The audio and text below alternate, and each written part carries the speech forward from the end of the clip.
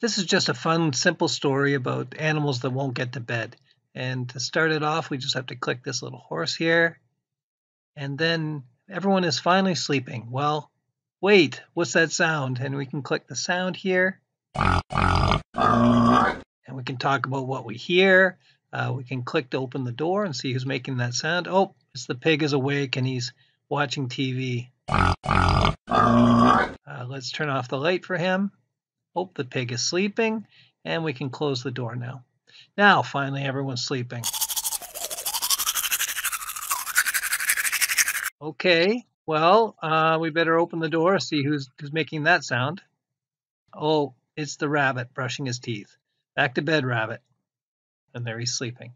So the story just continues on with putting animals back to bed until everybody's sleeping nice and sound.